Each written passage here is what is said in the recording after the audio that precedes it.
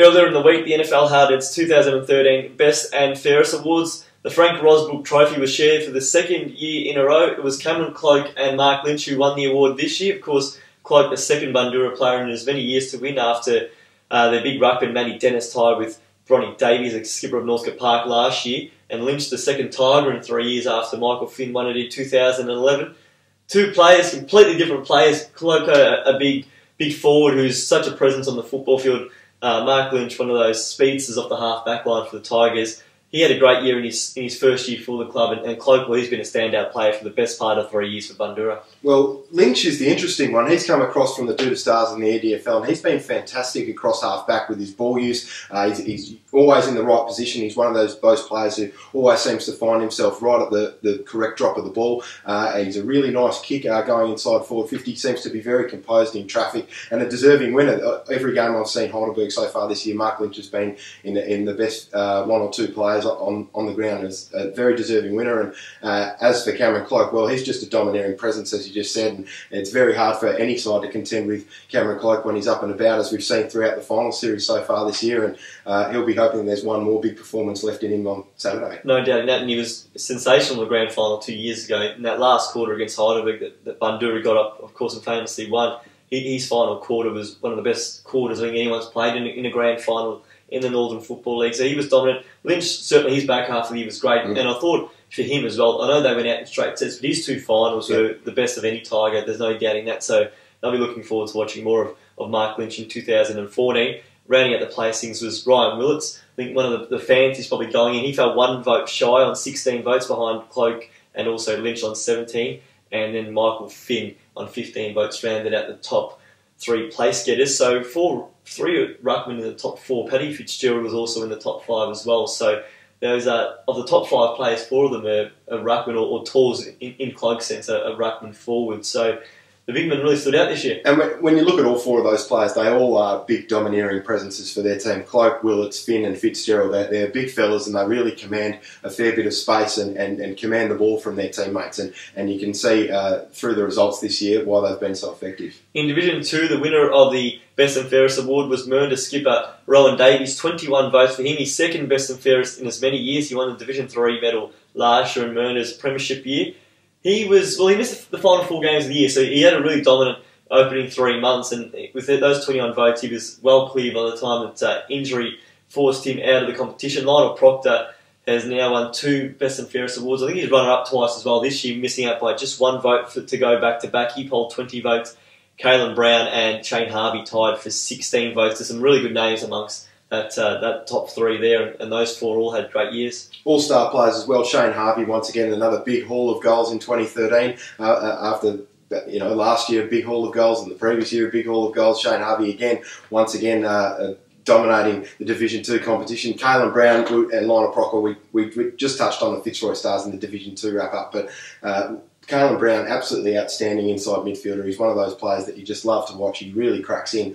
Um, and Lionel Proctor, we've seen on many occasions being a superstar player. And Rowan Davies, we saw him in the grand final last year for Division 3, and this year he's just backed it up again. He's a wonderful player to watch. Uh, all of those players deserving of being in the top four. Well, hopefully, Rowan Davies is back from Mernda last year. He wasn't at the awards ceremony on Monday. He has uh, gone and uh, gone into the army actually, and uh, hopefully for Mernda he, he's back. Otherwise, uh, it's, a, it's a big blow and, and going to be very hard to, uh, to cover a player of the ilk of, of Rowan Davies. Division three, where it was a runaway winner. That was Watsonia playing coach Lockie Dornoff. Ten 20, votes. 26 votes. He cool. holds 10 clear of James McLean Brunton, who had 16, and also uh, in third place from the Thomastown Football Club, Michael Di Battista. So really, uh, all youngsters there, all under the age of, of 22. So it's great to see some of the emerging talent of Division Three really having a big impact on the competition. But Dornoff, for mine, was, was the clear favourite going in, and I think he was very much a deserving winner. Well, having having watched part of the Division Three competition this season and most of the Division Three finals, uh, absolutely outstanding watching Lockie Dornoff go about his work. He's just a real leader amongst men, and, and you can see the way he's transformed his group into what they are now. Watsonia were a rabble last year, and this season you can all you can say about it is they're a fantastic football team, uh, run run by a, a great player and a, and a great man who's who's uh, done some wonderful things this season and should look to continue to do that next year, I would assume. Well, he's turned them from Wooden Spooner in Division 3, so as low as, as you can get, and then now the 2013 Club of the Year, they were a grand finals, lost by a point. he, of course, is the uh, competition best and fairest winner as well. And you hear him speak, and it's Mm. it's so much more mature than the 21 years. He's 21 years of age, and uh, a real credit to, to Watsonia. And I think anyone who heard his acceptance speech saw how humble he was as the person, still putting the team first there. You can catch actually a couple of those interviews that Brad Emmett actually filmed from the night as well. So do uh, check around the website as well. Brad's put together a great package talking to some of the best and fairest winners from the night. Uh, in the netball, there was six winners, of course, on the night. Sophie Atkinson from the Fitzroy Stars won it in Section 1. The Section 2 award went to Casey Barnes, who had a great year. She did the trifecta, captain of a premiership, best on ground in the grand final, and a competition best and fairest award.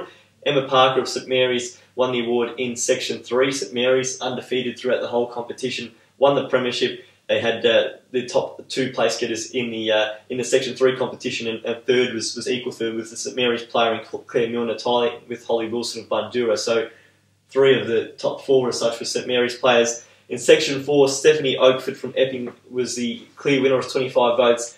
In Section Five, another St Mary's girl, Claire Derham, who as well won a premiership on Friday night. The first two premierships for the St Mary's senior club as such, going to the netballers. Of course, the under 19s fell just short in the footy on the Saturday, and uh, Shadell Hood from the Fitzroy Stars winning the award in Section 6. So it was great the expansion we had in, in netball this year to go to a sixth division. There will be a Northern Netball League commencing in October. It will include a junior competition, so it's great the leaps and bounds that's taken off in. And in, in the football sense, you can check out the teams of the year all on the website as well for Division 1, 2, and 3. Congratulations to all those 22 selected in each three sides and to the three coaches Jason Heatley from Northcote Park in Division 1 uh, Travis Hodgson for the Fitzroy Stars in Division 2, and also Dean Haydock, the Premiership coach in Division 3 of Panton Hill. And finally, the Coaches Player of the Year, an award that's highly regarded, of course. It's, it's great to get the recognition from those on the outside who are probably putting so much time into stopping you each Saturday. But Gavin Connolly won it in Division 1, and, and his season